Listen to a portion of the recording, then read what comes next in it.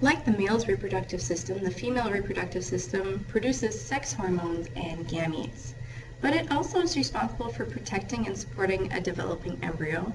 More on this in chapter 20, and it nourishes a newborn infant. The principal organs of the female reproductive system are the ovaries, the uterine tubes, the uterus, the vagina, and the components of the external genitalia. As in males, there's a variety of accessory glands that release secretions into the female reproductive tract as well. The ovaries are located near the lateral wall of the pelvic cavity, and they're stabilized by a broad ligament and supporting ligaments. The ovaries are responsible for the production of immature gametes called ova, secretion of the female sex hormones including estrogens and progestins, and they also produce the hormone inhibin. Oogenesis is the production of an ovum, which begins when the female is still a developing fetus in her mother's uterus and continues until menopause. Notice how this figure has three main stages like spermatogenesis did. The production begins when an oogonia, an egg stem cell, undergoes mitosis in, and again remember this is in utero, uh, before birth, which produces a primary oocyte which will then undergo meiosis 1, and this usually happens during puberty of the individual, and this produces secondary oocytes. Now, secondary oocytes do not undergo meiosis 2 until they're fertilized by a sperm. Let's discuss follicular development. So a primordial follicle is a primary oocyte that's surrounded by a single layer of follicular cells. A primary follicle is when the cells enlarge and divide and produce estrogens.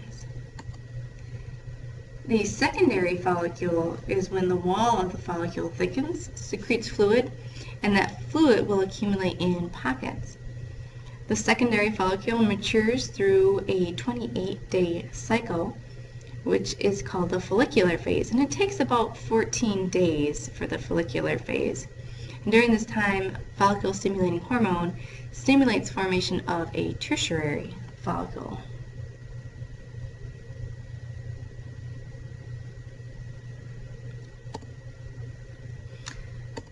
So the tertiary follicle is formed by days 10 to 14-ish of the ovarian cycle and the oocyte projects into the central chamber of the follicle, the antrum. This, and then when you have increases in luteinizing hormone, it'll prompt the completion of meiosis 1, which will produce the secondary oocyte in the pelvic cavity, and the oocyte enters the uterine tubes.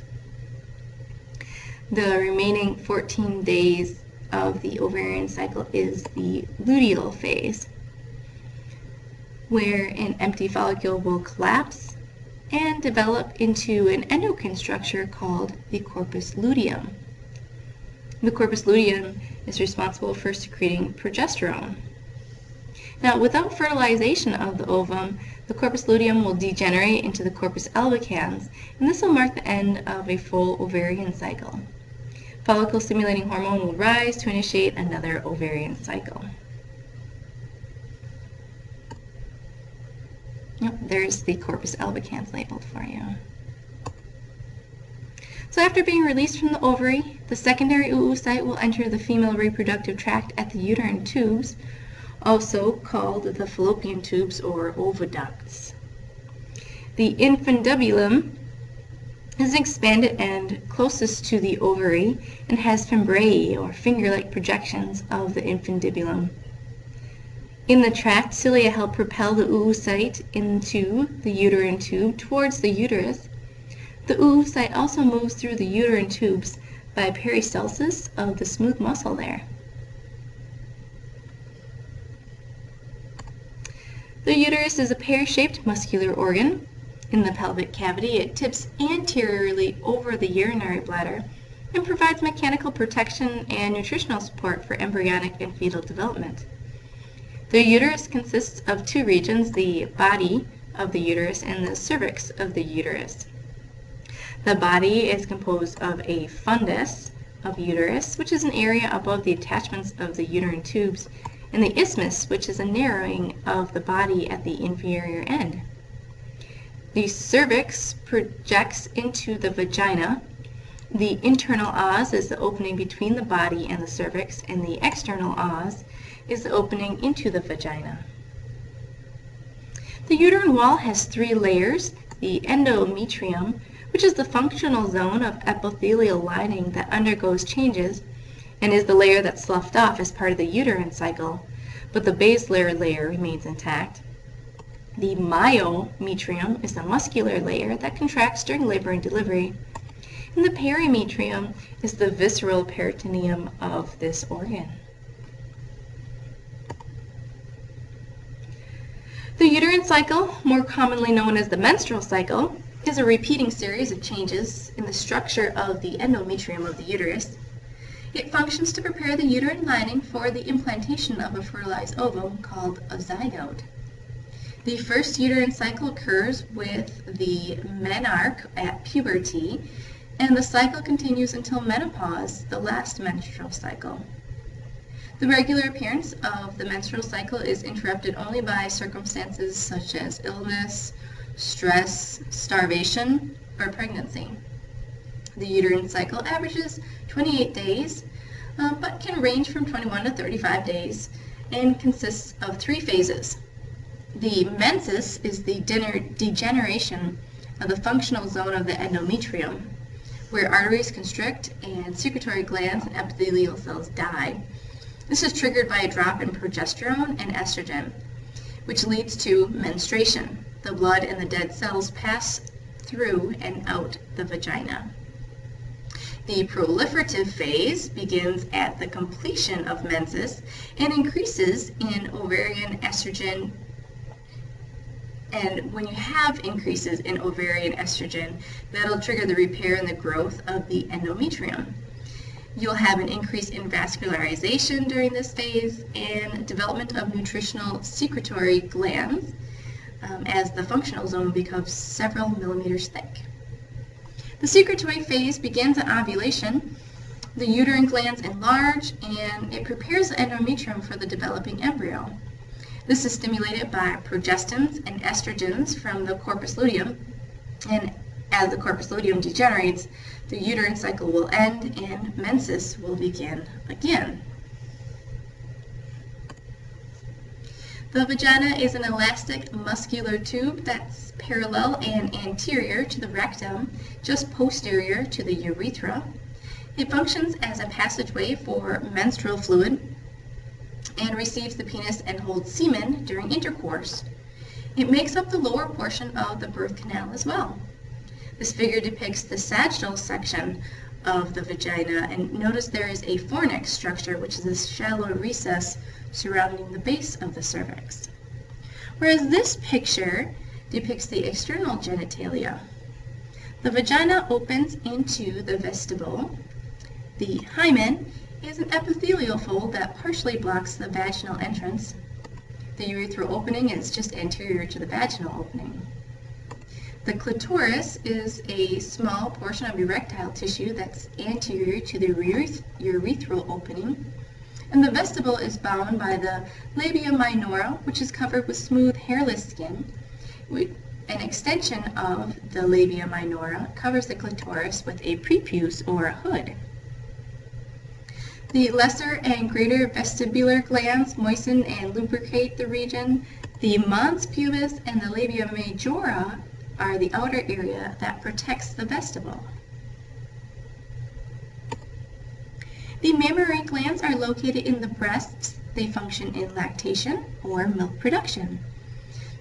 Glands are surrounded by adipose tissue and they're supported by ligaments. They, their secretion is collected into ductules that converged into the lactiferous duct, which drain into the lactiferous sinus which opens into the body surface of the nipple. The areola is the brownish skin that surrounds the nipple.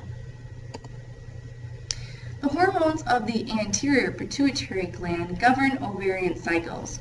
They regulate secretions of ovarian hormones and provide feedback to the hypothalamus.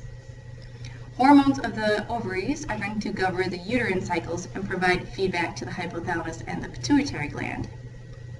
The hypothalamus releases gonadotropin-releasing hormone, which has two effects on the anterior pituitary gland, production and secretion of follicle-stimulating hormone, and the production of luteinizing hormone. Notice not secretion, just the production. So this will trigger the start of the follicular phase of the ovary, and some secondary follicles develop into a tertiary follicle. The follicular cells secrete two hormones, inhibin, to reduce the follicle-stimulating hormone so that only one follicle develops at a time, and estrogens, which have many effects. And you can see those listed here. Eventually, around day 10, enough estrogen is present to stimulate the luteinizing hormone surge from the anterior lobe of the pituitary gland. So this luteinizing hormone surge triggers ovulation. The follicular cells will enter the luteal phase and become luteal cells in the corpus luteum and then eventually the corpus albicans. The luteal cells no longer secrete estrogen, they secrete progesterone now, which plays two important roles. It stimulates the secretory phase of the uterine cycle and provides negative feedback to the hypothalamus.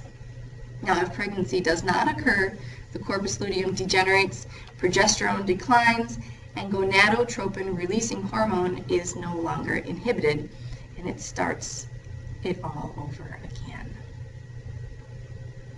So that brings us to the first checkpoint of this recording.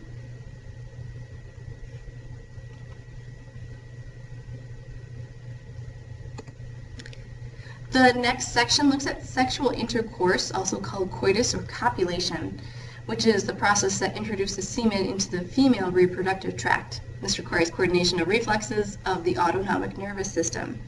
We'll start with males first. Male sexual function is coordinated by reflex pathways involving both divisions of the autonomic nervous system.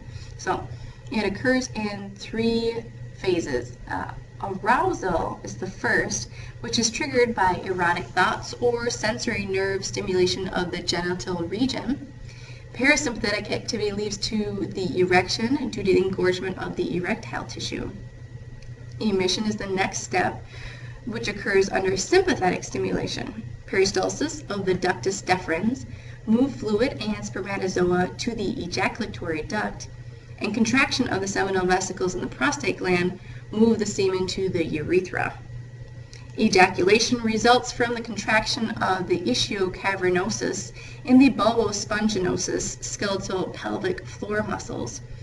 Orgasm is a pleasurable sensation associated with the ejaculation. Female sexual function is comparable to that in males, with arousal uh, being responsible from the parasympathetic activity, which leads to engorgement of the clitoris and vestibular bulbs and increased secretion of the cervical mucus glands. During intercourse, orgasm is typically accompanied by contraction of skeletal pelvic floor muscles and can lead to peristaltic contractions of the uterine and vaginal walls.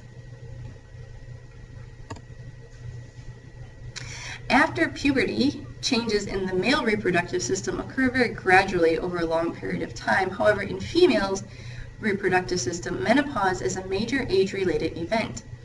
Menopause is defined as the time that ovulation and menstruation cease, though it occurs at ages 45 to 55, the ovarian and menstrual cycles become irregular in the years preceding it. This time frame is called perimenopause, and it begins around age 40. It's caused by a shortage of follicles. Menopause, then, is when there are no longer any follicles left to respond to follicle-stimulating hormone. So with the lack of follicular cells comes a decline in estrogen and progesterone, which reduces the size of female reproductive structures.